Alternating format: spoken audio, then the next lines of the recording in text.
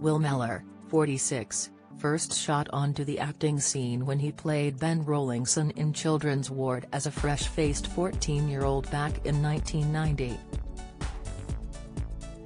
Within a few years, he hit the big time playing Jambo in the Channel 4 soap Hollyoaks, which aired five times a week.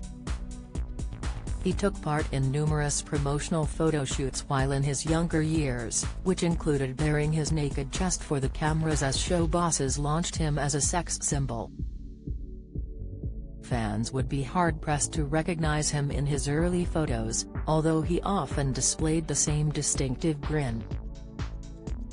Will's career later incorporated shows such as Two Pints of Lager and a Packet of Crisps, Broadchurch, Waterloo Road and more recently Coronation Street, when he took on the guise of a drug-dealing villain called Harvey who terrorized Leanne Battersby, Jane Danson, last year. Strictly Come Dancing is one of Will's biggest career accomplishments yet, giving him the opportunity to swivel the snake-like hips that impressed Judge Shirley Ballas when she met him on Celebrity Juice, but in the meantime, let's look back at some images from his early career.